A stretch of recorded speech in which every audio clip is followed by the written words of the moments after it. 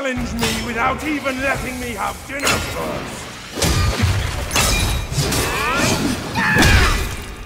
I am